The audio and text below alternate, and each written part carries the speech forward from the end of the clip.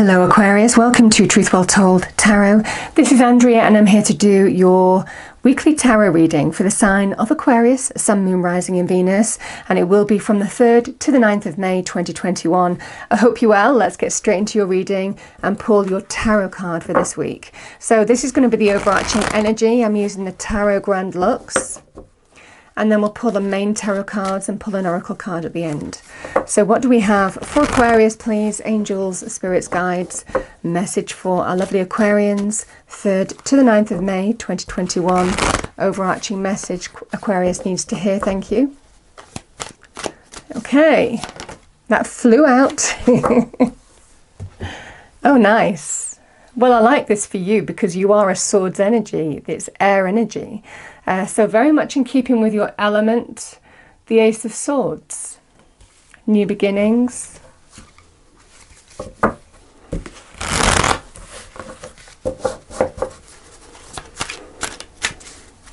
Can be new perspectives as well.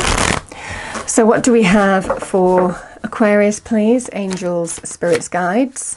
Message for Aquarius. 3rd to the 9th of May 2021. What do we have for Aquarius? Thank you.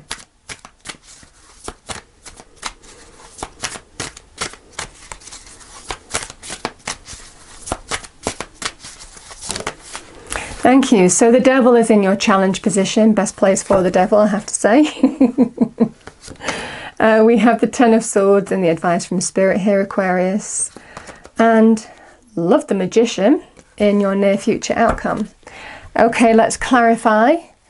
Go deeper into the message for our lovely Aquarians. Thank you.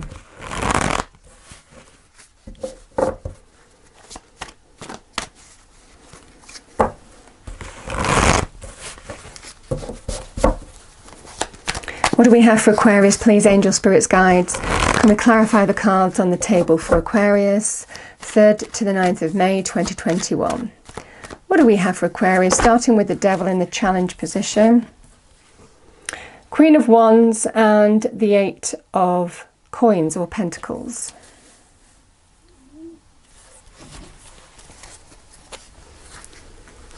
The Ten of Swords we have with the Two of coins. That's the advice from Spirit. And the Ten of Cups, Aquarius, is clarifying the Magician. Bottom of the deck, we have the Six of Swords, which is Aquarian energy too. So let's clarify this Ace of Swords.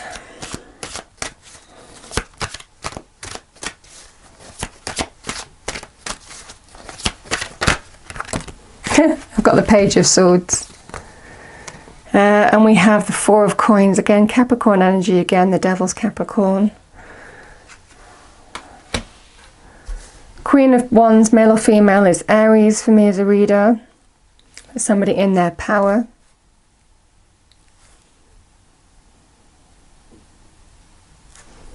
So let's um, let's clarify this Ten of Swords. What has caused you loss, pain, betrayal. I mean, there's levels to each of these cards. So the Ten of Swords is a 10 though, it's a completion. Let's clarify this Ten of Swords.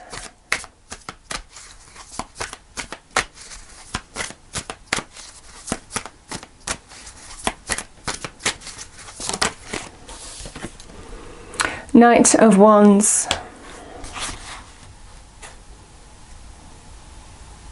And what are you manifesting? Let's clarify what you're manifesting here. Two of Wands.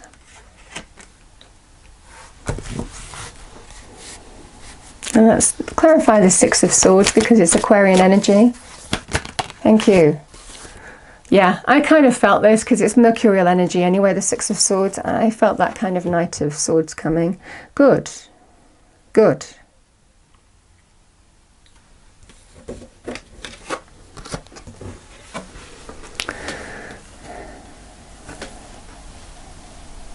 Yeah, there is definitely an energy of, you know, the Ace of Swords is a card of victory, success. The clouds are parting and you can see the blue sky. There is new clarity coming your way. This can be epiphany energy again, clarity. but it, it links with a new beginning. So, whatever clarity or breakthrough, and it can be a mental break, breakthrough, suddenly seeing the clouds part and victory is at hand, the success is at hand. Um, and it's brought on because you're hearing some news. It feels for some of you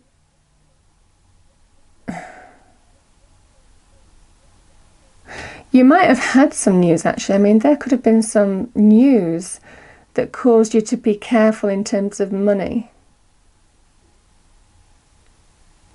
There could have been some news that caused you to be careful.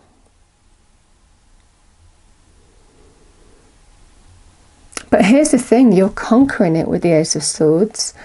Um, the Four of Coins is an interesting one. I mean, it can mean a number of things uh, security, stability. But the Four of Coins is somebody who has essentially lost everything before. So they're very cautious. The fact that they get a stable footing in money and career, not that they're completely, you know, abundant, they're not feeling that at all, but they're just very cautious with money because, you know, it's kind of like they've learnt lessons from the past. So for some of you, it definitely feels in this energy you are there's you're being I'm getting an energy some some news is coming in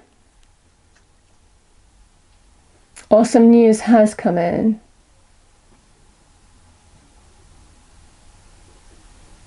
I'm getting in this energy Aquarius some news has come in um, that is either liberating you from being very cautious with money or it can well be you're finally conquering that period where you've had to be uh, careful with money. And it, like I said, it feels like some news is coming in. Um, it feels more like a victory with the Ace of Swords being there. So, some kind of breakthrough victory from a period of having to just be very, very cautious with money, finances, you know, to protect yourself and, you know, everybody concerned.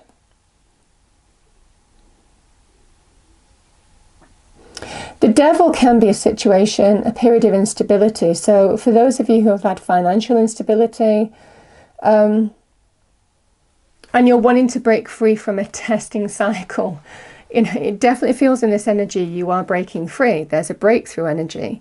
Um, it can it, like I said, the devil can be a card of, of, something that represents instability. But generally, in the challenge position, the devil is an energy of releasing from the limiting feeling, the powerlessness um, of what this situation meant to you. I mean, it doesn't really feel like a person here. Yes, this can be about toxic relationships, unhealthy relationships, codependency, addiction.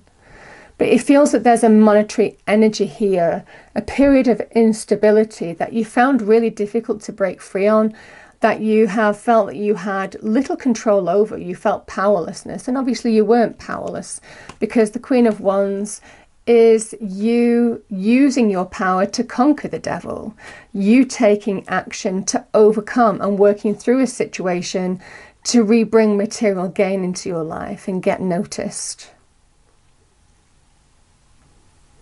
It feels like you're changing you there's been a lot of hard work and i definitely feel you want it's been a, this is exceptional hard work you might have learnt a new trade a new skill uh, got more qualifications as well here aquarius you might have been taking this is the empowering moves that you make the actions that you've been taking to overcome this devil energy. You see, somebody in their power and somebody who, something, an illusion that we give power to.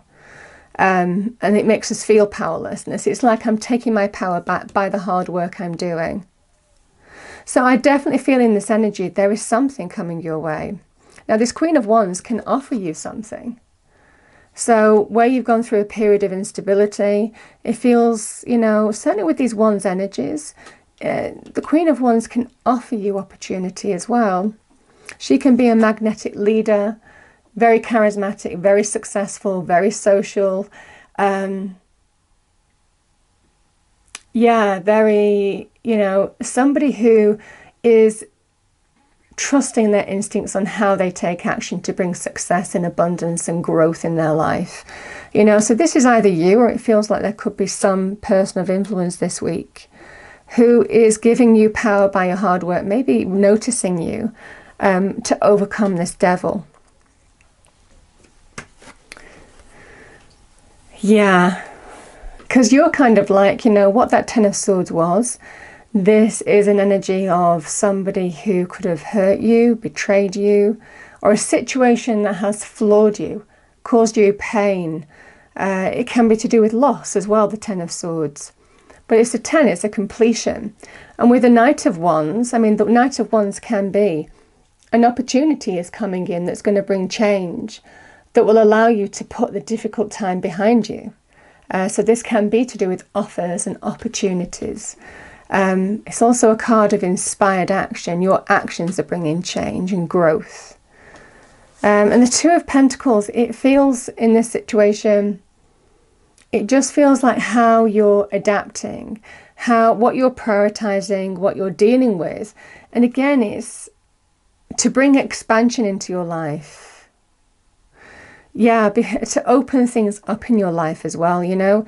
It, it definitely feels in this situation that the, the Two of Pentacles, because we've got a lot of Capricorn energy. Uh, Capricorn, Capricorn, Four of, of Pentacles, and again, Capricorn but it's it's a Jupiterian energy, Jupiter and Capricorn. So just trying to open things up and bring good fortune into your life, you know? Um, and that's what I see you doing. The things that you focused on, prioritized, how you've adapted to, again, this period of feeling, wow, I'm just about handling everything that's going on here. Uh, this is when you've got a lot on your plate and you're just kind of like grappling with multiple priorities and just trying to bring them into balance, you know, because you've been through a period of instability. You focused on the right things, and you know, even though you felt things were out of control, they weren't. Even though this person juggles and dances at the same time, they are not dropping anything.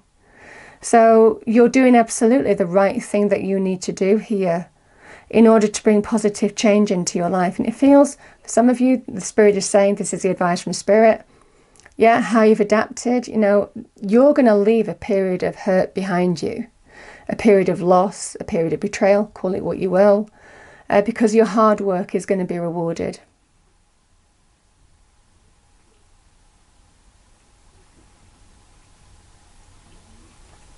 And why am I saying that? Because, yeah, there's some news coming your way. News that will allow you to move forward to calmer waters, put troubled waters behind you. Uh, this is a news, a conversation, some information. Um, but there is absolutely news happening here. Some news, information, conversation. Knight of Swords is Gemini. Um, that will allow you to put difficulty behind you, heal, um, release the stress of everything that you've been through and just find the calm once more. So it really changes your energy as well as changing your physical reality here, that Six of Swords. I am finally detaching from this devil energy. And again, six is all about getting the harmony back. Again, having gone through some instability and grappled with a situation that you felt was bigger than you, but it wasn't. You're doing all the right things that you needed to do to take control of something that I feel has controlled you. The devil is the puppeteer, you know. Uh, shadow energy, the puppeteer, you know, that we is an illusion in a sense, but can create a lot of instability.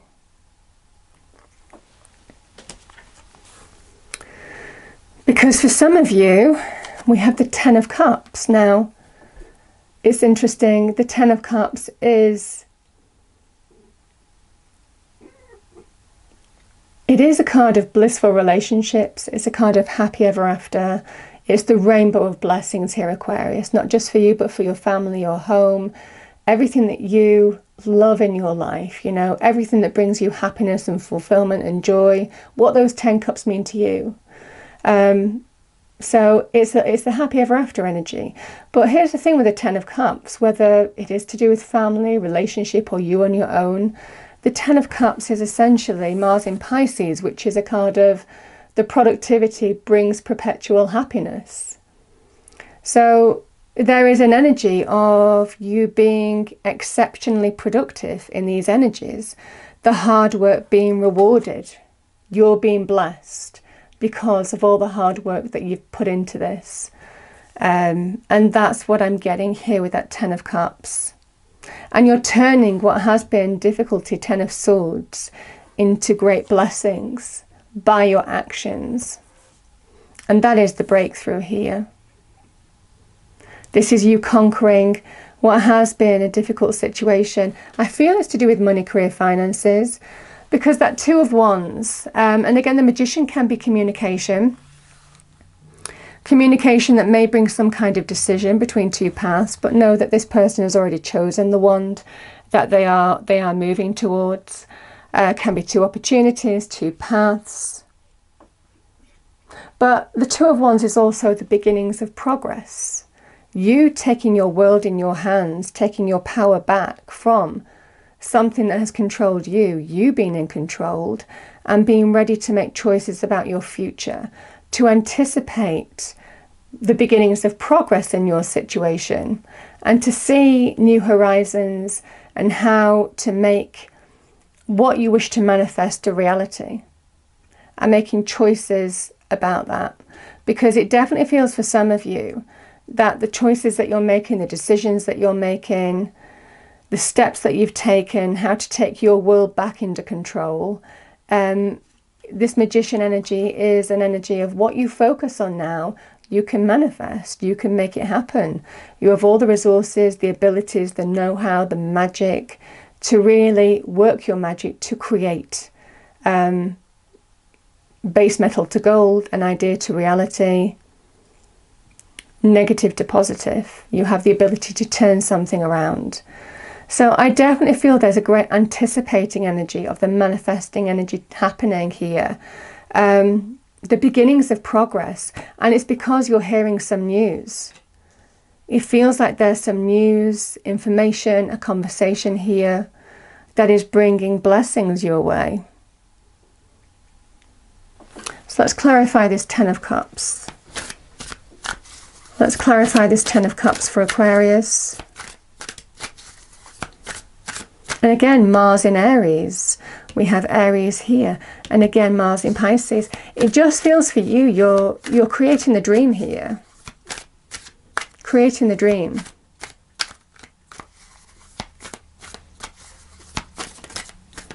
Through hard work.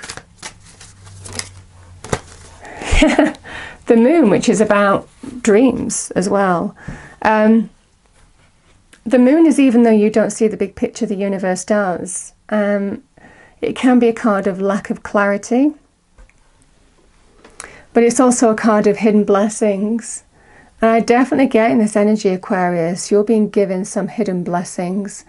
Um, again, this is Pisces energy, Mars in Pisces. It feels for some of you you might not have full clarity this week in how something's going to pan out, but you have the beginnings of progress here, the beginnings of the first step to manifesting what you want to happen that can ultimately lead to some offer, opportunity, or change coming into your life that will allow you to put difficulty behind you. And it starts with some news or conversation coming your way.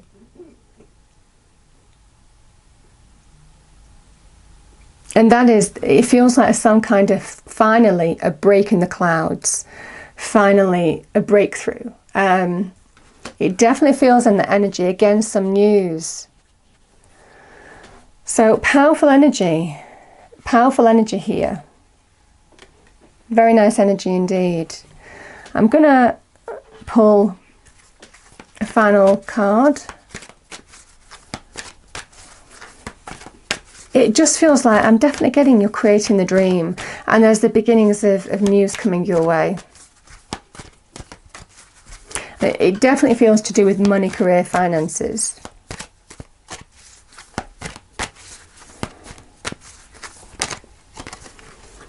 Yeah, inner child. The fairies of playfulness remind you to make time to embrace your inner child. Playing keeps his young at heart. Do something silly and fun, but stay safe. It's interesting, bottom of the deck, I looked, so I'm going to read it out to you. Magical blessings. Whatever you're going through, you're being assisted by magical fairy blessings. The fairies say you can bless others too. I mean, that is the magic. If you believe the mag- you have the magic, you know, you can use that magic to manifest whatever you focus your intention on. This is about focus intention. What's the one thing I want to change?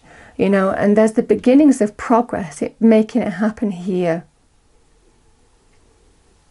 It feels like you're getting just the glimmers, the first step on that new journey that you've been manifesting. You're beginning to create that dream and it, it, it starts with some news or information coming through which is the breakthrough.